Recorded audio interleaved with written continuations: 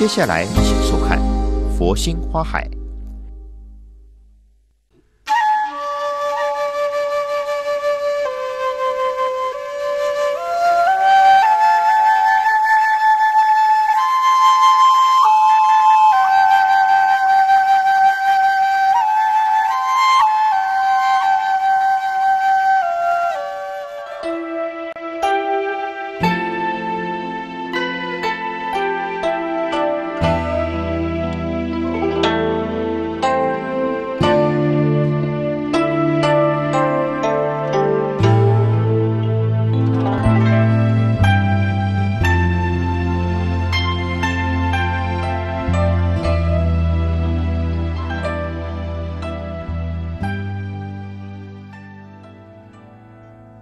各位大德、各位爱花的菩萨们，大家好，阿弥陀佛。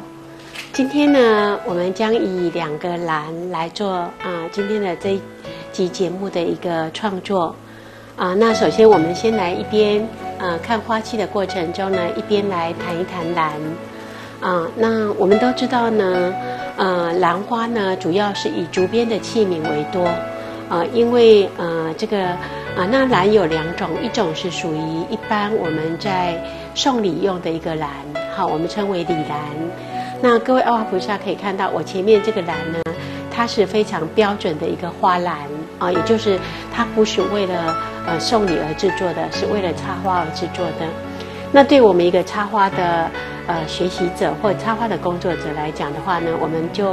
呃不管是专专业的花篮或者是一个礼篮。啊啊，我们都可以用来做很很好的一个花艺的一个创作。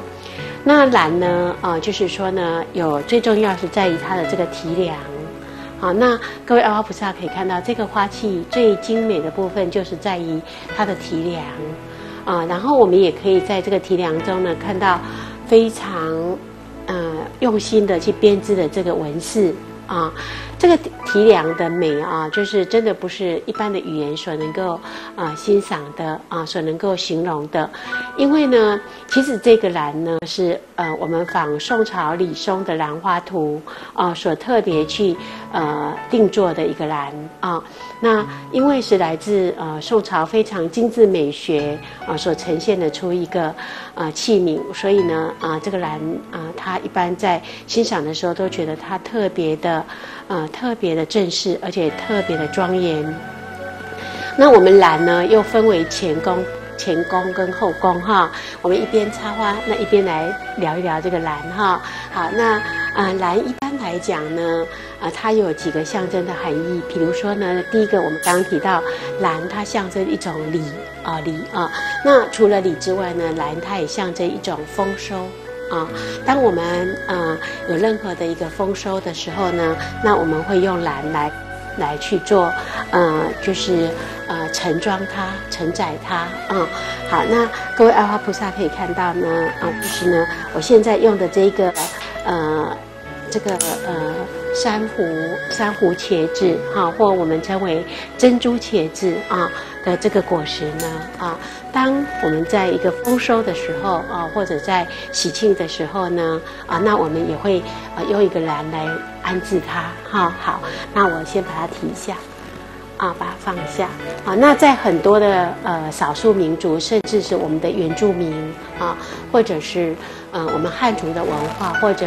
呃各式的这种呃少数的民族呢，呃，很多时候呢，呃。比如说，呃，你要，呃，送一个礼，或者要回娘家去啊，去看自己父母亲啊，要给父母亲，呃，送一个他们所喜欢的一样东西的时候呢，那都常常会以兰来盛制啊。比如说，我们在闽南的习俗里面呢，谷雨的时候呢，我们要去探望母亲啊，然后要给母亲送礼啊，去，呃，给母亲送一些，呃。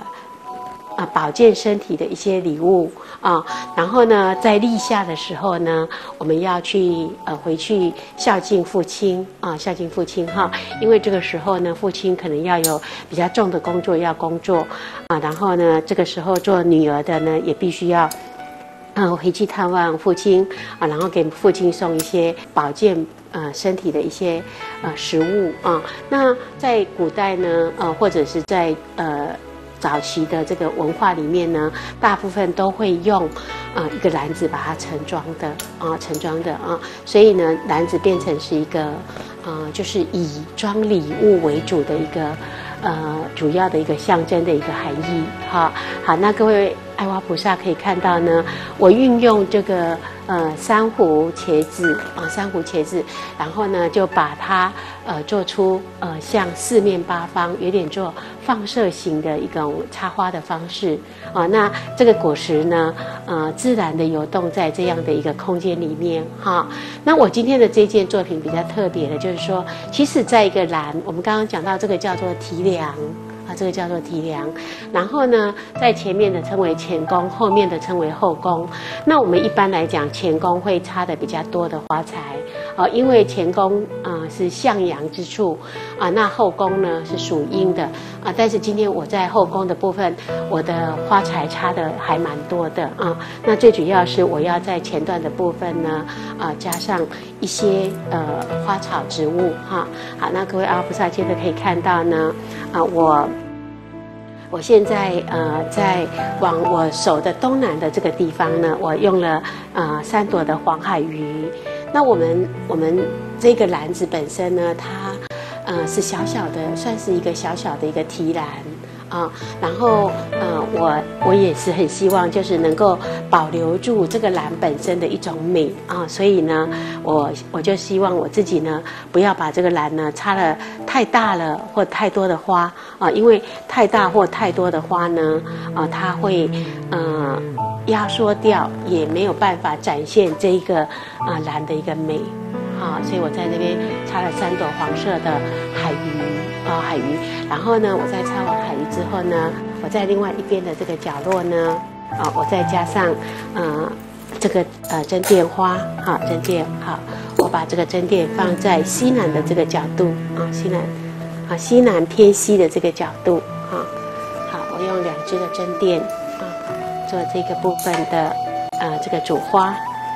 好，然后因为呢。呃，各位阿拉菩萨可以看到，目前我用的颜色呢，都是属于比较高明度的花啊，高明度的花。然后我开始去运用一些，呃，绿色或白色做间隔色哈。好，那各位阿拉菩萨可以看到，我现在手上用的这个叫做，嗯，叫做呃水晶火烛叶啊。这个水晶火烛叶叶脉非常的美啊。然后我用这个叶脉呢的美来衬托，呃，我的针垫花。啊，这两支针垫花，啊，然后也在呃衬托的这个过程中呢，啊，好，各位阿菩萨现在可以看一下下啊，就是整个，呃，这个很高密度的这些花，经过绿色的一个呃配置之后呢，颜色就更加的柔和了，哈，好，然后我再加一点点，呃，薄类的植物啊，绿色的植物，啊，把它压在下段。就是呃，我们在呃宋朝的时候一种插花的一个呃花型。那除了宋朝之外呢，我们知道呢，其实兰花最早的起源是源自佛教插花啊，佛教插花哈。那那个呃佛教里面关于兰花的记载最有名的就是所谓的天女散花啊，天女散花哈。那天女散花有很多的呃。典故跟记载啊，记载着关于天女散花的一个故事啊。那最有名的就是呃呃佛在说法非常庄严殊胜的时候，那这个时候呢，天女就会下来散花啊，天女就会下来散散花啊。然后另外一个非常有名的就是关于呢，嗯，灵王姐居士呢因为生病啊生病，然后啊释迦牟尼佛呢。啊，请文殊师利菩萨啊借探病啊，那去说法，两人啊借由这个探病说法啊，那呃宣示了非常殊胜的一个妙法啊，那就在彼此之间这个呃非常殊胜的这个说法的过程中呢，啊，那天女就来散花了啊，天女就来散花了。好，那各位可以看到呢，我现在运用绿色的植物，把这个整个非常高密度的色彩把它呃插出来了哈。那我现在强调在呃东南的地方是以黄色为主啊，然后强调在西南的地方是以橘色为主哈。好，那我在后段的地方呢，啊，我再加一点点，嗯，蝴蝶兰哈，因为我手上还有啊几只这样子，蛮美的这个蝴蝶兰哈。好，然后我把这个啊，把。这个蝴蝶兰呢，让它微微的在东南的这个，呃，在东北的这个角度上啊，我们让它不要太长，啊，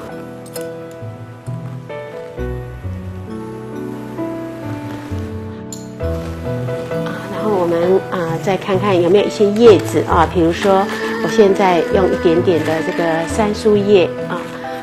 菩萨可以看到我手上有这种杉树叶哈，因为有时候我们会运用呃柏这一类的植物来做它的下段啊，但是有时候呢，我们也可以运用一些叶子啊，因为叶子它补起空间来，第一个它嗯蛮有动感的哈，好，比如说我现在开始用杉树叶去补这个。海鱼的这个下段啊，那一片这样子大片的杉树叶呢，我们可以把它修成很多片来应用哈。比如说，我现在把它剪这样子，好，把它剪成一半啊，就是一片叶子可以分成好几片叶子应用啊。那当然，如果我们很讲究的话，就呃呃一片叶子只用一个地方哈，但是。嗯，因为它是做这个下段空间，补空间的哈。好像我在这边啊，再剪一段啊。好，然后杉树叶我们要插进去的时候，要把它这个呃叶叶片把它减少啊，像这样子，然后应用它这个呃这个梗的这个地方哈，让它插入到海绵里面去啊。好，在这边再补一片这个叶子啊。那我一边在补这个叶子的过程中，就会发觉呢，如果我全部用这个拿钵呢，啊，那就会，嗯，感觉上整个空间比较平面的感觉哈。但是如果我加了这个杉树叶，啊，各位阿菩萨可以看到，我这样把叶子修一下下，然后它就很容易插进啊这个海绵里面。如果是纯粹以钵来讲，就会比较，呃，平面啊。然后我现在加了这个以后，就会感觉比较立体的感觉。好，现在把这个叶子再做一下下。啊，所以我们刚刚呃谈到，就是整个这个呃最原始的一个呃兰花的一个缘起，就源自佛教插花啊。然后啊，就是呃因为呃说法到很殊胜庄严的时候呢，那这个时候天女就会散花啊。所以我们说佛前的供花形式。啊，有三种啊，那其中的一种就是上花啊，我们有一种就是呃皿花啊，然后呃就是所谓的堆花，那另外一种就是呃平供啊，所以这三种是佛前啊最殊胜的三种供养供花的形式啊，所以呃上花也是其中的一种啊，所以我们刚刚提到呃，因为维摩诘居士呢，那那个。呃，在说法非常殊胜的时候啊，那呃，当天女来散花的时候呢，呃，所有的那个菩萨呢身上的花就自然脱落啊，但是有一些罗汉呢，呃，身上的这个花就没有脱落啊，然后他们就看着就很紧张哈，这些罗汉就非常紧张，然后就想要把那个花哈把它剥剥开剥掉。就没有想到越剥就越黏住在身体哈，那这些罗汉就有点不高兴啊，他就他就跟这个天女说呢，你这样的做法不够如法啊，然后呢，那个天女就说怎么会说是不如法呢哈，然后他说因为。他说呢，事实上，只要你的最主要是因为你的结习未尽啊，你的习气还没有全部脱尽啊，所以呃花才会着生啊。如果你的习气全部都呃脱尽了以后，那花自然就脱落了哈。所以这个也是借呃这个天女散花，事实上是也是一种啊考验啊一个修行人的一个层次。这也是呃关于呃最早佛前供花的一段嗯非常嗯非常有意思啊，而且非常有趣的一个记载哈。好，那我运用了这个蝴蝶兰做它的后段啊。好，那各位阿菩萨可以看到哈，这件作品不只是呃前段很唯美啊，然后后面呢也非常的好看，因为后面的蝴蝶兰呢也形成。一般我们会以蝴蝶兰为主要的主轴前面的设计哈，那我今天呢啊是以蝴蝶兰作为后段啊的这个主要的一个设计，然后我在四周呢也加上啊一些小小的呃白色的深山樱这种小花啊，因为我们曾经呃很多次的介绍，就是呢呃其实呢这种 这种插花呢。它不只是，呃，就是前段很重要，因为这种花呢，它算是一个四面花哈，所以它啊前段跟后段都是同样重要的。好，所以我在这个是呢，把它加一下下，啊，因为白色呢啊，古人也讲说，啊，古人在作画的时候说，白丽则五色成仪啊，就是。呃，当白色这个颜色一上去之后，你会觉得所有的颜色就更加呃出色啊。那这个花是可以四面八方都可以欣赏的啊。所以各位阿菩萨可以看到，如果我们放在一个呃就是比较空旷的，或者前后都需要欣赏的一个空间呢，那我们就可以采取用这样的一个插花形式啊，而且这样的一个插花的。形式呢也受到非常多人的喜欢啊，就是呃我们立可以运用在各种的展览的会场啊，或者家里有任何喜事的时候啊，那或者是在寺院啊，像最近有些寺院的梁皇宝忏哈，然后或者是水陆法会的时候啊，这种很庄严正式的兰花也是很受到。很多人，很多的师傅，他们啊觉得说，啊，非常好的一个花型。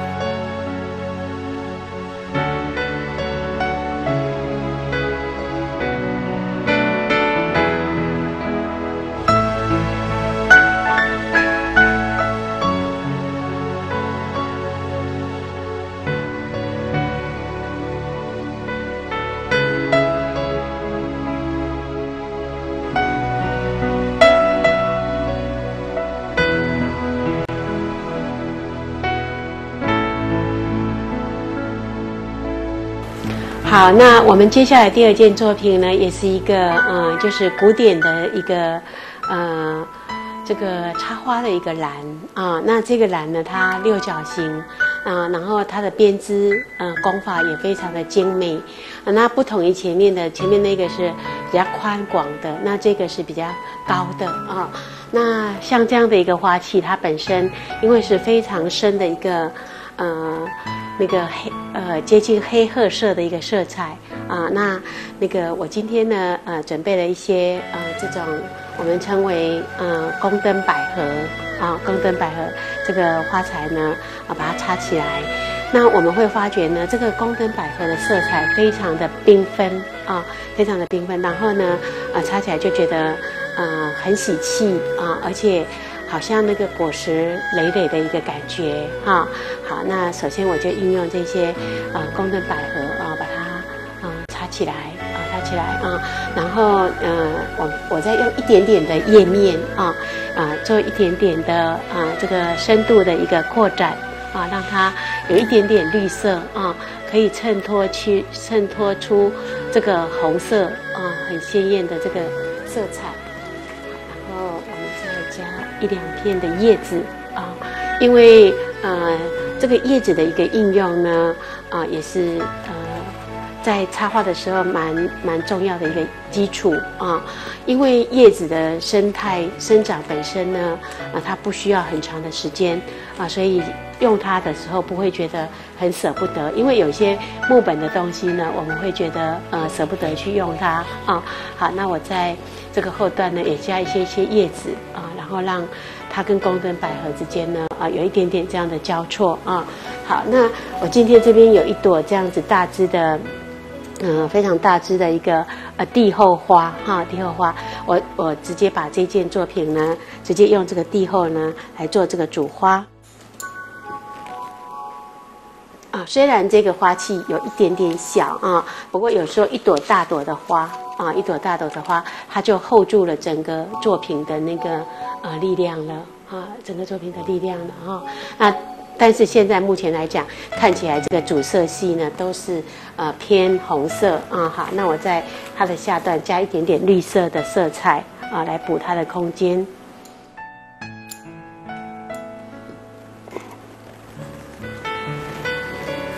用一点绿色的颜色啊，然后嗯，一点点这个杜鹃的这个枝叶啊，细细细细的向四周微微的散开。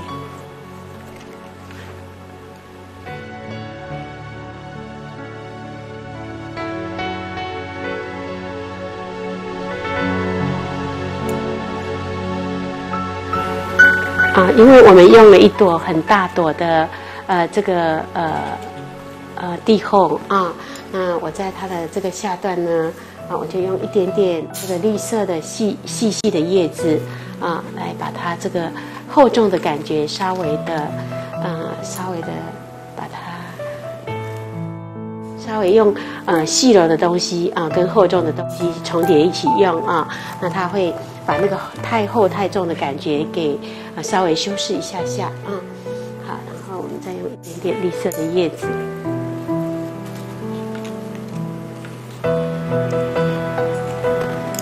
然后呢，我在这个角落的地方呢，哈，我再加一点点白色的小花，啊，我这边有几支白色的这个呃玻璃很之心啊，我们在角落的地方加玻璃很之心。因为呢，呃，其实白色的颜色呢，它在一件作品中是非常的重要的哈。因为，呃，有白色的花出来的话呢，呃，整件作品的亮度呢也就会跟着呃增加了。好，好那我们在这边加一点点啊，这个白色的这个小花啊。好，那我稍微把后段呢做一些修饰。好，因为后段会看到一些些海绵。那基本上，呃，在插一个这样的花的时候呢，啊，我还是尽量的希望他呢能够，呃，就是不要花差的太多，啊，花差的太多，还是一定要想办法把这个篮子本身的，呃，感觉呢，让它能够，啊，展现出来，啊，不要因为花太多了，啊，然后篮子的形都没有了，哈。嗯，其实如果能够把提梁也展现出来是最好的啊。好，那我在它的后段的这个部分呢，哈，我们会看到，呃，我们说过这个花呢，它其实也是属于是四面花啊，四面花啊，最少是三面花哈。那如果说，呃，我们呃后段呢啊都是空的，也不太好啊，所以我在后段呢啊加两朵的这个菊花啊，让它。若隐若现的啊，两朵黄菊在后段的感觉，太大。我们在侧面的地方呢，啊，再加一些白色的小花。这样子，我们不管从任何一个角度来看它呢，它都是呃，看起来都是呃，富富贵贵、圆圆满满、饱饱满满的。这个第二件的这个啊小型的这个兰花呢啊把它插起来了啊，那那个记得在《红楼梦》里面呢啊这本书中呢这个跛脚道人啊最开始在呃整部呃书的开始就呃唱念了一段话啊世人都晓神仙好，唯有功名忘不了啊那世人都晓神仙好，唯有金钱忘不了。啊，然后世人都晓神仙好，那唯有娇妻忘不了啊。那世人都晓神仙好，唯有儿孙忘不了啊。那在这个好聊歌里面呢，我们可以感受到呢，啊，生命呃，我们在人生中在追求各种我们所需要的功名财富，那啊妻贤，然后子贵啊，但是啊，也让我们体会到，其实生命最后。就像师父说的，以善法为基础的一个人生，它将是充满的灿烂、跟光明与尊贵的。啊，所以感谢生命电视台的美好姻缘，还有所有副台东得主，呃的姻缘啊。然后我们导演、摄影师，还有我们很多呃我亲爱的同学、我的学生们一起的帮忙，让我们能够完成这一次呃很顺利圆满的一个节目的录影啊。那内心感觉到非常的喜悦跟感恩啊。那愿此香华遍满十方。供养三宝，护法龙天，普熏众生，共入佛智。阿弥陀佛。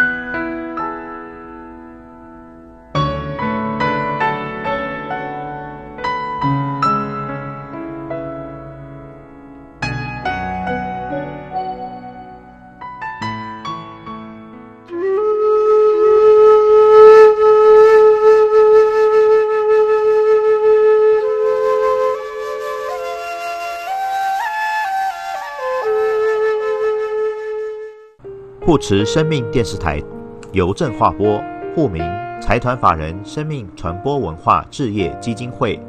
划拨账号一九九六五二三二一九九六五二三二，银行账号银行代号土地银行零零五，账号零一二零零一一九七三八八零一二零零一一九七三八八，传播佛法救护生命。佛教慈悲置业基金会高雄生命书坊举办传授八关斋戒、礼拜三昧水忏、护生暨甘露施食，恭请湛山法师主法。日期十二月九日星期四上午八点半，地点高雄生命书坊，高雄市新兴区中山二路四百七十二号七楼。洽询电话：零七二二一二三二三零七二二一二三二三。敬邀菩萨参与熏习，同沾法益，共沐佛恩。配合防疫措施参加共修，敬请佩戴口罩。现场备有免费消灾超荐牌位，欢迎填写。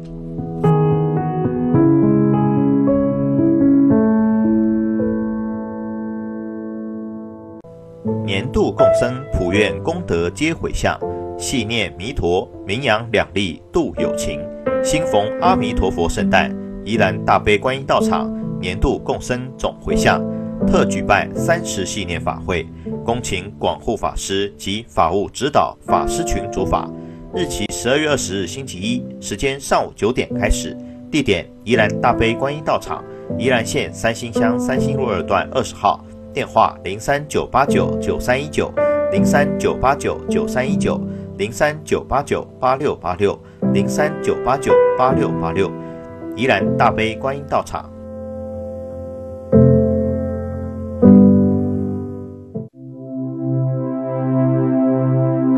么是初地的菩萨呢？初地的菩萨，他不再有执着，内心不再恐怖，也不升起颠倒，不会打妄想。他不担忧生活，也不惧怕死亡，不会对人产生怨恨，也不会对人毁谤。进入了初地的菩萨。他等于升到了诸佛的家中，他以助人为本分，以布施为快乐，能少龙佛种，也能弘法度化众生，内心与菩提相应，欢喜踊跃，